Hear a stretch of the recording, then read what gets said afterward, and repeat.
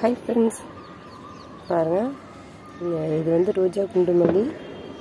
இதுக்கு இன்னொரு பேரும் இருக்குது பத்தடுக்கு குண்டுமல்லின்னு சொல்லுவாங்க.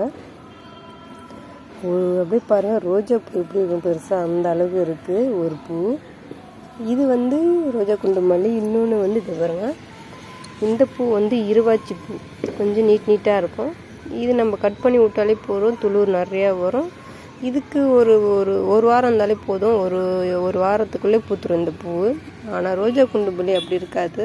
பத்து பஞ்சு நாள் ஆகும் பூக்கிறதுக்கு இது சாதா மதுரை மல்லி இருந்தாலும் உங்களுக்கு நார்மலாக பூக்கும். அதிகமாக பூக்க பூக்காதா அப்படின்னு இந்த ரோஜா குண்டு மல்லி அப்படின்னா பூக்கும்.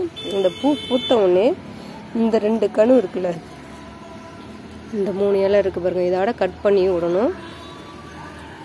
பாருங்கள் இப்போ கட் பண்ண போகிறேன் இந்த இலையை விட்டுட்டு எடுக்கணும் பாருங்கள் ரோஜா குண்டு புள்ளி எப்படி வாங்கணும்னா இந்த பாருங்கள் மூணு இலை இருக்குது பாருங்கள் சொன்ன மாதிரி. பூ பூக்கும்போது மூணு இலை இருக்கும். அப்படி பார்த்தா வாங்கணும். இப்போ நம்ம கட் பண்ண போகிறோம் இலையை விட்டுட்டு இப்படி கட் பண்ணி பாருங்கள் இப்படி கட் பண்ணும்போது இங்கே துளிர் நிறையா வரும் உங்களுக்கு. நான் அதுமாரி தான் கட் பண்ணி விட்டேன். பாருங்கள் நிறைய துளிர் வந்திருக்கு. இதெல்லாம் ரோஜா குண்டு மல்லி தான். இந்த செடிலாம் பாருங்கள் இதெல்லாம் ரோஜா குண்டு மல்லி தான் அதிகமாக உங்களுக்கு மொட்டு நிறைய வரும். இன்றைக்கி மாடி தோட்டத்தில் ரோஜா குண்டு மல்லி அறுவடை பாருங்கள் இப்போ நார்மலாக ஒரு ரோஜா பூத்துருக்கு. இது நாட்டு ரோஜா. அதையும் பிரிச்சிடலாம்.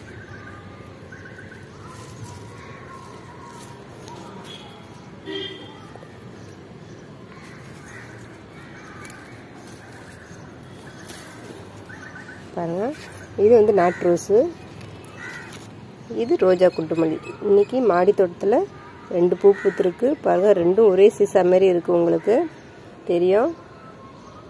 கேட்டு வாங்குங்க ரோஜா குண்டு மல்லின்னு